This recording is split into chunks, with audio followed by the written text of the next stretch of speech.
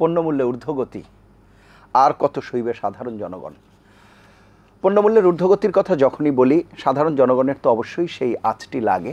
পাশাপাশি সমাজের যে কয়টি সেক্টরে আঁচ লাগে, তার মধ্যে রেস্তোরাঁ। এবং এই রেস্তোরাঁয় কেবলমাত্র যে উচ্চবিত্ত, মধ্যবিত্ত তারাই যায়, সেটি নয়। আমাদের প্রান্তিক জনগোষ্ঠী, খেটে খাওয়া মানুষ, দিনমজুর তারাও যাচ্ছে বিভিন্ন রেস্তোরাঁয়। খেতে এবং সেই জায়গায় ভোগান্তি তৈরি হয়। আমরা একটি হিসাব বলি যে যখনই আমরা পণ্যমূল্যের কথা, বৃদ্ধির কথা বলি, তখন নানা অজুহাতের মধ্যে করোনা এবং ইউক্রেন রাশা যুদ্ধের কথা বলা হয়। সারা বিশ্বে খাদ্যের যে হিসেব সেটি এখন পর্যন্ত সর্বনিম্ন বলা হচ্ছে। বিশ্ব খাদ্য সংস্থার যে হিসাব, সেখানেও পণ্যমূল্য সর্বনিম্ন। অথচ আমাদের দেশে মূল্যস্ফীতি এই মুহূর্তে বারো দশমিক পাঁচ চার ক্যাবের হিসেবে অবশ্য আরও বেশি, এটা আমি বিবিএসের হিসেব বললাম। সার্বিকভাবে বিষয়গুলো নিয়ে আপনি আলাপ শুরু করবেন। জি, ধন্যবাদ আপনাকে। প্রথমে আপনাকে বলি যে, মূল্যস্ফীতির যে হিসাবটা, এটা টোটালি একটা গাঁজাখড়ি হিসাব। সেদিন এক অর্থনীতিবিদ, খুব পতিত যশ অর্থনীতিবিদ, উনি বলছিলেন যে মিনিমাম মূল্যস্ফীতি বাংলাদেশে তিরিশ পার্সেন্ট আমি বলব আরও অনেক বেশি।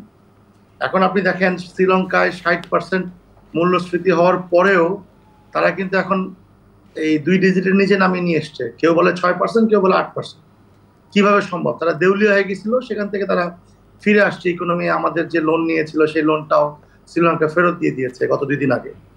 তো বিষয়টা হচ্ছে যে আমরা কাকে দোষ দিব? আমি যাকে দোষ দিব, তারাই কোনো না কোনোভাবে আরেকজনকে দোষ চাপিয়ে দিবে। প্রবলেমটা কোথায় এখন সরকার ফাইন্ড আউট করতে পারছে না? কেন? কারণ ওই সরিষার মধ্যেই ভূত আছে। কারণ সবাই কোনো না কোনো বেনিফিটেড হয় সরকারি আমলাতন্ত্র বেনিফিটেড নাহলে সরকারি যারা ক্ষমতায় আছে রাজনীতিবিদ তারা বেনিফিটেড আর তাদের দোসর যারা আছে অসাধু ব্যবসায়ী তারা বেনিফিট আর সবচেয়ে নির্যাতিত নিষ্পেষিত হচ্ছে আমরা যারা ক্ষুদ্র ব্যবসায়ী আছি। আমরা আপনারা সাফারার হচ্ছেন কীভাবে? যদি সুনির্দিষ্টভাবে সেই বিষয়টি বলেন। আপনার আমি চাইলে প্রতিদিন সকাল বিকাল দাম বাড়াতে পারি। এটা আমার একটা বড় আজ আমার তো প্রতিদিন রেগুলার কাস্টমার যারা এই যে প্রান্তিক মানুষ যাদের কথা বললেন, শ্রমজীবী, কর্মজীবী মানুষ, তারা তো প্রতিদিন রেস্তোরাঁর উপর ডিপেন্ড করে। সকালবেলা নাস্তা খেয়ে রেস্তোরাঁ থেকে যায়, দুপুরে বাইরে কোথাও না কোথাও খেতে হয়, সন্ধ্যার সময় কিছু না কিছু নিয়ে বাসায় ঢুকে মানুষজন, যারা সাধারণ প্রান্তিক মানুষ। এখন বিষয়টা হচ্ছে, আমি তো প্রতিদিন দাম বাড়াইতে কমাইতে পারব না। আমার পক্ষে এটা সম্ভব না। ঢাকা শহরে যা টুকটাক দাম অ্যাডজাস্ট করা যায় বা পণ্যের সাইজ অ্যাডজাস্ট করা যায়, মফস্বলে, ঢাকার বাইরে, জেলাগুলোতে প্রতিদিনই একটা দেন দরবার চলে, একটা বিক্ষুব্ধ অবস্থা। কাস্টমার মারতে আসে আমাদের মালিকদের, যা তা ব্যবহার করে আমাদের এমপ্লয়ীদের সাথে, আমরাও বুঝি তাদের কষ্ট, কিন্তু আমরা কোথায় যাব বলে? যাওয়ার তো কোনো রাস্তা নেই।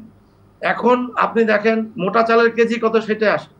আপনি আলু তো এই ভোক্তা অধিকারের ডিজি মহোদয় একা তার দু একজন টিম নিয়ে, সে একবার বগুড়া, একবার মুন্সীগঞ্জ, এইভাবে চোর পুলিশ খেলে তো আপনি বাজার কন্ট্রোল করতে পারবেন। উনি যদি না দৌড়াইতো, তে আলু খেতে হতো আপনাকে সত্তর আশি টাকা। ওইভাবে তারা নিয়ে গেছিল, এই বড় বড় ব্যবসায়ীরা। এখন বিষয়টা হচ্ছে, আমরা বারবার, আমরা তো ক্ষুদ্র ব্যবসায়ী, আমাদের কথা কারও কানেও যায়। আমি আজকে কয়েকটা প্রোগ্রাম অ্যাটেন্ড করেছি, সেখানে শুধু ডায়লগ হয়। বিভিন্ন সোনারগাঁয় হোটেলে, বিভিন্ন এনজিও গুলো এই পলিসি নির্ধারণ করে আমাদের নিয়ে ষাটটা আইন করা হয়েছে। একটাও বাস্তবায়ন হয় না আর আমাদের নিয়ে তো কেউ চিন্তাই করে না। এই যে এত বড় একটা স্টেক হোল্ডার আমরা সারা বাংলাদেশের কনজিউম করি টোয়েন্টি পার্সেন্ট কনজিউমার গুডসগুলো। এই রেস্তোরাঁ খাত অথচ আমাদের আত্মনাদ রাষ্ট্রের শীর্ষ পর্যায়ে তো পৌঁছাই না। আর রাষ্ট্রের যারা যে জায়গায় আছে, এত ভাবলেশহীন।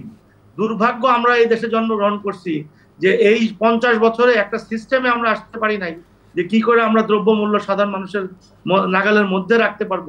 এই ইলেকশন সামনে এখন মনে হয় যে যেভাবে পারতেছে, সেই সেভাবে একটা লুটের ব্যবস্থা করতেছে।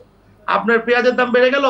পেঁয়াজ ইম্পোর্ট করলেন, অনুমতি দেওয়ার আগেই মানে সাথে সাথে পেঁয়াজের দাম কমে গেল। আপনি কাকে বলবেন? ডিমের অবস্থা, ডিম একটা ফানি বিষয় না, ডিম আপনি অনুমতি দিচ্ছেন চার কোটি, পাঁচ কোটি, যেটা একদিনের চাহিদা। এটা ফানি বিষয় না। আরেকটা বিষয় হচ্ছে, খাদ্য মন্ত্রণালয় বললে এটা তো আমাদের আন্ডারে না। ডিম হচ্ছে প্রাণী সম্পদ মন্ত্রণালয়। ওই ভদ্রলোক হচ্ছে অ্যাডভোকেট উনি প্রান্তিক চাষি কি বুঝবেন? মন্ত্রী হয়েছেন উনি উল্টাপাল্টা কথা বলে বেড়ান যে আমাদের দেশে গরু ইনাফ তাহলে গরুর মাংস যদি ইনাফ হয়, গরু আশিটা, আটশো টাকা হয় কীভাবে? একটা সময় গরুর মাংসের ব্যালেন্স ছিল যখন ইম্পোর্টেড ছিল। আমাদের কাছে চয়েস ছিল। আমি সেদিন একটা জায়গায় বলেছি যে সাধারণ প্রান্তিক মানুষের চয়েস আছে, যেখানে মুরগির ডিম দেশিটা একটু বেশি দাম, হাঁসের ডিম একটু বেশি, ব্রয়লার সাদাটা এক দাম ব্রয়লার লালটা এক দাম পার্থক্য আছে যার যার সামর্থ্য অনুযায়ী কিনতে পারে। ব্রয়লার মুরগির ক্ষেত্রে সেম ওইটা একটু কম দাম, কক মুরগির দাম আরেকটু বেশি, তিনশো টাকা, ব্রয়লার মুরগি একশো আশি টাকা আপনি দেখেন দেশি মোরগ দেশি মুরগি আরও বেশি পাঁচশো ছয়শো টাকা। এখন যার যার সামর্থ্য আছে সে কিনতে পারবে। গরুর মাংস খাসির মাংসের ক্ষেত্রে আপনি আমার বলেন আটশো টাকা এখানে মানুষের চয়েসটা কোথায় আছে? সেখানে যদি গরুর মাংস ইম্পোর্ট করার সুযোগটা দিত তাহলে তো আমরা আজকে একটা চয়েস থাকতো গরিব মানুষের যেটা আমি চারশো সাড়ে চারশো টাকায় আমি গরুর মাংস কিনতে পারব। বাণিজ্য মন্ত্রণালয়ের সচিব মহোদয় কিন্তু বলছে যে ইম্পোর্টটা করলে গরুর মাংস চারশো সাড়ে চারশো টাকায় খাওয়ানো সম্ভব। কিন্তু এখানে পানি সম্পদ মন্ত্রণালয় বলতেছে না আমরা ইম্পোর্টের অনুমতি দিতে পারি না। বাণিজ্য মন্ত্রণালয় বলতেছে আমাদের হাত পা বাধা। এই যে এক মন্ত্রণালয় আরেক মন্ত্রণালয়ের কাছে চাপাই দিচ্ছে তাহলে মন্ত্রীরা কেন সমন্বয় করে এটা সমাধান করছে না? অসংখ্য ধন্যবাদ। ইমরান হাসান আমি আবারও আসব আপনার কাছে।